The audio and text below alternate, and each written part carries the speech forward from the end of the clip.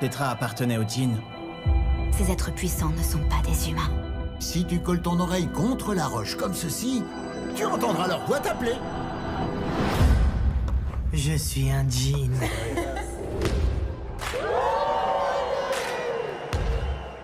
J'ai le sentiment que quelque chose ne va pas. Ces gens ont tous l'air en colère, ça va être difficile de trouver celui qu'on cherche, ça pourrait être n'importe lequel. Sans déconner. Ici, t'es dans un lycée plein d'ados. Tout le monde est forcément en colère contre quelqu'un